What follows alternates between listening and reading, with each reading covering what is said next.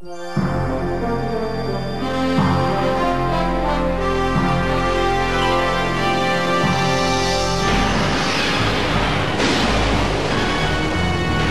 alien world of Mer is being devoured by dark water.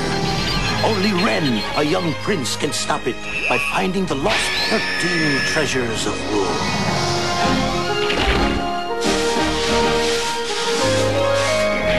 His side is an unlikely but loyal crew of misfits.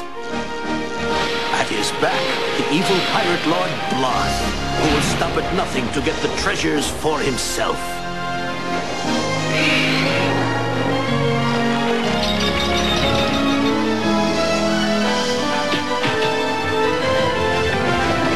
It's high adventure with the Pirates of Dark Water.